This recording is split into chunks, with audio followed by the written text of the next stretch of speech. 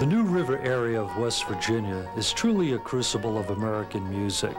It is the birthplace of bluegrass and country music stars like Little Jimmy Dickens, the Bales Brothers, Curly Ray Cline, Joe Meadows, and the Goins Brothers. But one of the most influential musicians from that area is George Speedy Krise, who was born in Hinton, West Virginia on May 7, 1922. Speedy was first introduced to the dobro around 1937 by his future brother-in-law, Tommy Ball.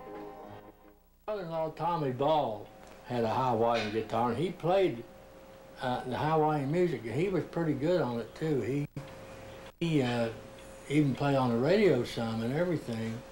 And I just started picking it up from him. And I guess where he learned the Hawaiian numbers were just through the instruction books. And also, you know, we had radios at the time. We could hear some of the music coming over the radio and all of that. But as far as a dobro and a Hawaiian guitar, they're both the same thing. A dobro is just a brand name like Martin or Gibson. And uh, they're, they're tuned the same way and played the same way, except the only difference is just the type of music you're going to play. The old traditional music is one type, but the dobro is usually used on the country style music, mm -hmm. and that's another type of music. But they're both just uh, Hawaiian guitar played in, in different styles.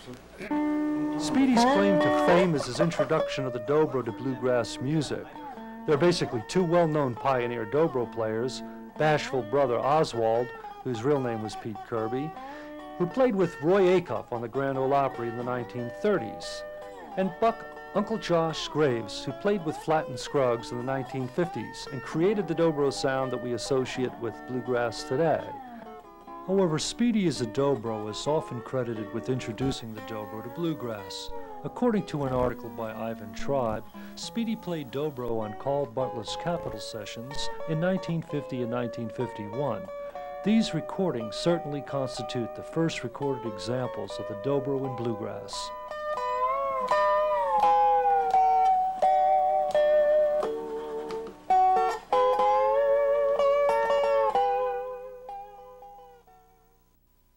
Age of 18, after graduating from high school, Speedy worked with Dixie Lee, later known as Molly O'Day, at WJLS, a radio station in Beckley, West Virginia.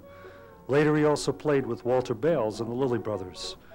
Speedy eventually formed his own band, the Blue Ribbon Boys, and played daily over WJLS in the early 1940s. It was around this time that he got his first real dobro. I like to listen to the Grand Ole Opry and to, uh, to the old uh, country music on on recordings, you know, and uh, so I just always liked it. And finally, uh, my brother-in-law, who came to be my brother-in-law in time, mm -hmm. he came along and he played the Hawaiian guitar, and I never seen anybody play one before. And from hearing his dobro, I wanted a dobro. I finally found one, and. Uh, it was all broken up. I bought it for about four or five dollars.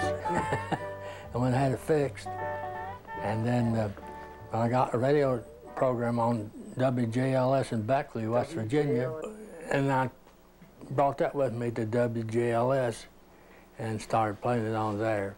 Who, who were you playing with on WJLS? Who, who? Well, I had my own band there called the Blue Ribbon Boys. Uh -huh. But before that, I had played some on there too with Molly O'Day and Lynn Davis. And uh, that was, you know, at the time when they were back there. Mm -hmm. And uh, at that time, though, Molly was known as Dixie Lee. Uh -huh. And, and uh, they were, had a band called the 49ers. Lynn Davis and the 49ers with Dixie Lee. Mm -hmm. Now I played with them, them while they were there until they left, then that's when I got my own band, the Blue Ribbon Boys, and started that on, on the station. Huh. And, were the, were the Lilies, did they play on the by station? then I had my dobro. Yes, they, they first started with the Blue Ribbon Boys. Ah. The Lilly Brothers, Bea and Everett. Yes. A wonderful bluegrass duet. And, uh, but after a while, they left the band, and I got the Barber Brothers who were really good singers too. They had been playing there with Bob Roseberry while he was on Beckley, but Bob left, and then the Barber brothers came over with me in place of the Lilly brothers. And we went on from there with the uh, Blue Ribbon Boys. And then I left there to go to the service, the Air Force. I was in there about a couple of years, and when I got out, stayed around the house there a little bit there at uh, Hinton. It was over on the south side. Yeah, it was sort of like uh, we sort of lived across the tracks, you know what I mean? I stayed around there a while, and then uh, Lynn called me from Knoxville and wanted me to come down there and play with them again Uh-huh. on WNOX. They had a program called the Midday Merry-Go-Round every weekday. And that was Lynn, Lynn Davis, Lynn Davis. uh-huh, the same one I'd played with in Beckley.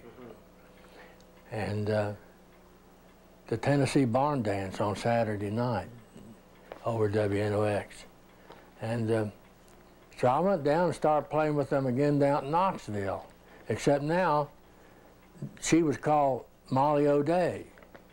She changed her name from Dixie Lee to Molly O'Day, and the band that had been the 49ers were now called the Cumberland Mountain Folks. but they were real popular on WNOX. She was a real, a real lady, Molly O'Day was. And um, people just loved her. All the guys would come out to look at her, Yeah. as well as to hear her, you know, and she could just draw people like crazy everywhere she went. to come in bread from your store. Would you welcome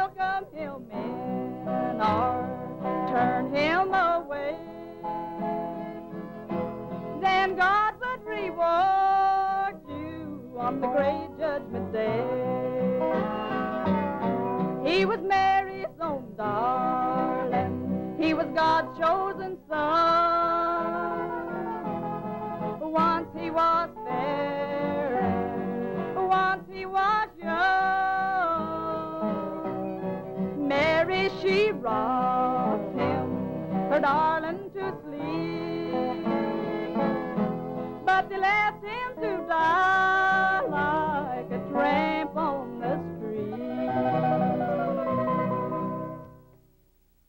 We didn't have a bus, but Lynn had a pretty big, uh, long station wagon-like thing that we traveled in. I believe it was a DeSoto. I think they quit making those cars now. But everybody looks awful nice sitting out there. You're a wonderful audience. You look like a bed of roses sitting out there. Of course, I see a weed here and there. Okay, here we go with one called Home Sweet Home.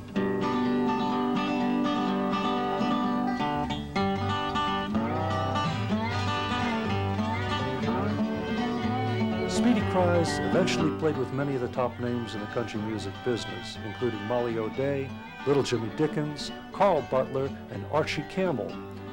Archie Campbell eventually became famous for his comedy routines on Hee Haw. However, when Speedy worked with Archie and his band, the Old Timers, in the 1950s, Archie was pursuing a career as a singer. Speedy played dobro and sang harmony on several of Archie's recordings. They also co-wrote the song No One Ran to Meet Me. After playing with Campbell, Speedy formed his own band called the New River Gang. I mean, and after they left to, to go into religious work up in Kentucky somewhere, well, I stayed on the station and switched over and went to playing with Archie Campbell. Uh, you know, Archie Campbell of- was on Hee Haw and the Grand Ole Opry and, Yeah. and all that. I started playing with, with him, and I played with him there for quite a while. Red Kirk and myself and Archie, just three people, would go out and put on shows. You know, today they got to have a whole caravan and half the people on the whole radio station and all that stuff. But th- uh, three people would go out and put on these shows, So which and people would like it too. Of course, Archie, at that time, he did an extra character called Grandpappy, just Grandpappy. And he was really marvelous at doing that. People just loved him in that Grandpappy role. And, uh, but then when he went to to the uh, Grand Ole Opry, he dropped that character and just played a straight Archie Campbell from there.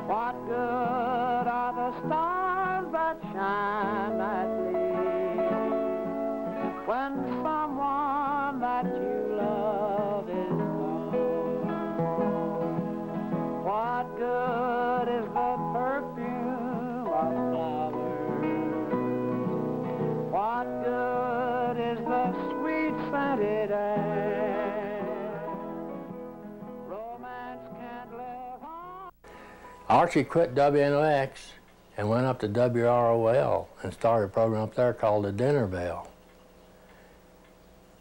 and Country Playhouse. Mm-hmm. And I went up there with Archie too. And an old friend of mine, Fred Smith, was there in Knoxville, and we started a little comedy act, duet comedy act, sort of like on the style of Homer and Jethro. And we did that for a while. And uh, after so long, Fred and I came back to WNOX again and worked this time with Jack Shelton and the Greene County Boys. And we started making all the same circuit rounds again. So when I left Knoxville, we had pretty well played out the territory anywhere you'd go. Speedy's father was a railroad man who worked for the C&O, both as a brakeman and a conductor. His musical inspiration, however, came from his mother, who played guitar and taught him many of the old-time songs he still performs today. In just one more moment, I'll cross the state line. There over the interstate hangs the big sign. Hello, West Virginia, how are you, old friend? You're sure looking great, glad to see you again. Behold how those mountains go looming beyond mid traces of fog from the cool early dawn.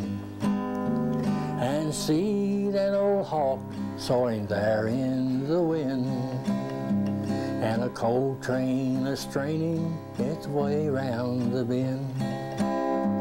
Hello, West Virginia, old spinner of mountains. It's sure good to see you. How are you, old friend? You just kept a calling and tugging my heartstrings. Till I couldn't bear it, I've come home again.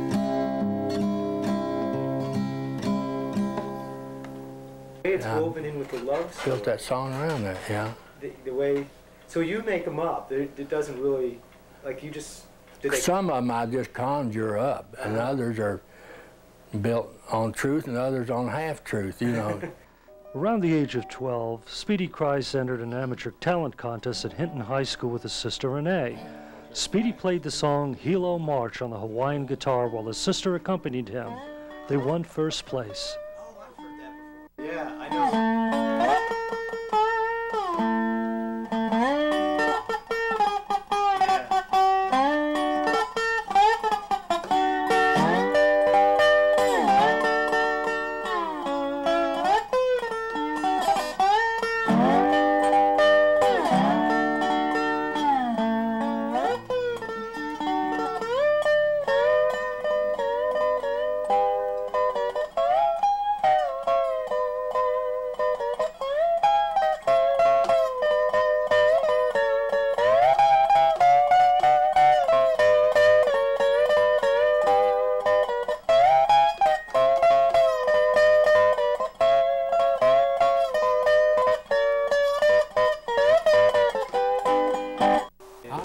Got this, uh, must have been about 1940.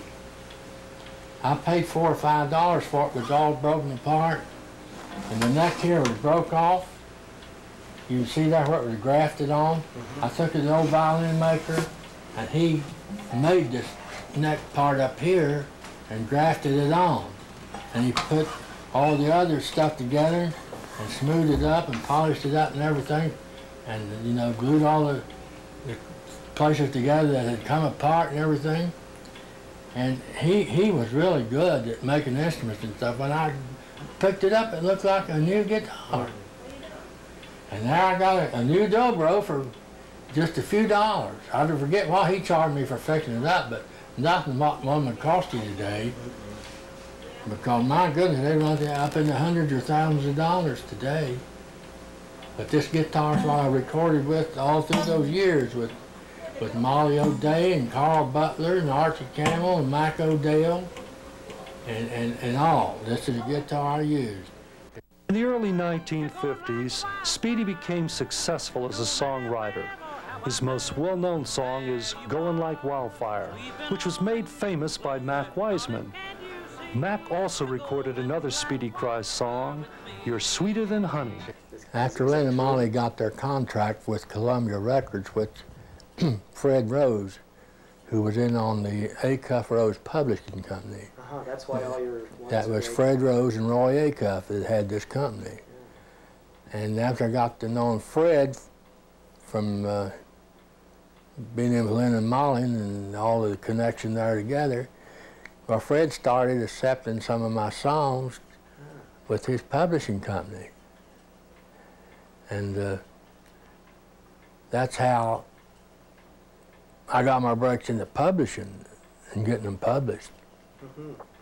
So Also, Troy Martin, who worked for, you know, Southern Publishing Company, Imperial International Corporation. Uh, he was, he would come around Knoxville too, although he was stationed down in Nashville. He'd come around Knoxville and pick up a song of mine here and there, and he would publish it. And uh, I started working with, with two publishers that way. They have been recorded by several different people, like Roy Acuff, uh-huh. Mac Wiseman, Oh, Mac Wiseman. Don Gibson, uh, Carl Smith, Hmm. Carl Butler, Yeah. and uh, Frankie Laine and Jo Stafford recorded one of my songs, Going Like Wildfire, Oh, that's which was a good hit for Mac Wiseman. And they recorded that on the Columbia label, and that was pretty good to me.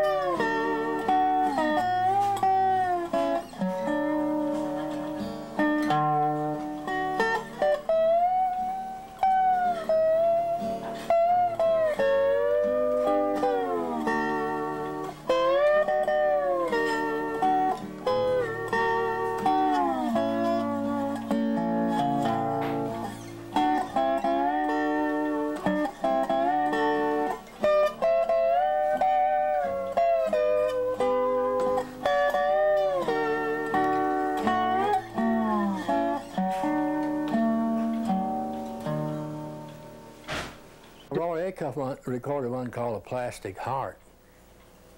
And uh, that went pretty good for Roy and for me too. and uh, Carl Butler recorded that one, and maybe some other people. And uh, well, I had one called uh, The Heartbreak Express, No Trespassing. Carl Smith made his debut on the Grand Ole Opry with my song No Trespassing.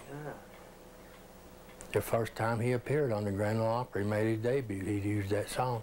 And he got several encores just, you know, right off the bat. In the mid 1950s, Speedy moved to Akron, Ohio. For a while, seemed to give up music. Eventually retired from the coffee factory where he worked, uh, his love of music got the best of him. He played for a while with a gospel group, then a country rock band with his son, known as Bluestone.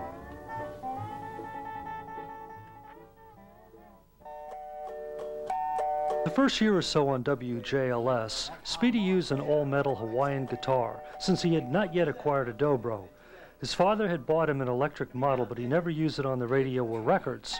At a time when many musicians were switching to more modern instruments, Speedy preferred the older acoustical sound.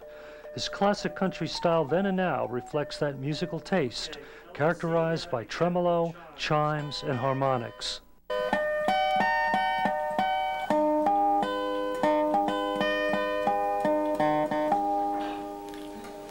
The chimes you do with your finger, you have to hit the string exactly the same time with your finger as you, you're going to hit it with your picks.